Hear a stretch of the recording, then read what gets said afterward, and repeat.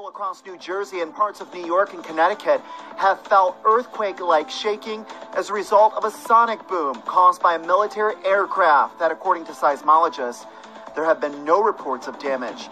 The reports began coming in a little after 2 p.m. Eastern Time on Thursday, with shaking felt in Atlantic City, Trenton, Forked River, Tinton Falls, Southampton, Pleasantville, Mount Holly, and other areas.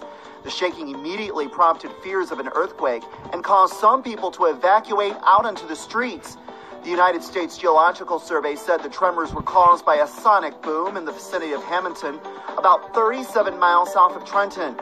It is believed that an aircraft from McGuire Air Force Base was responsible for breaking the sound barrier.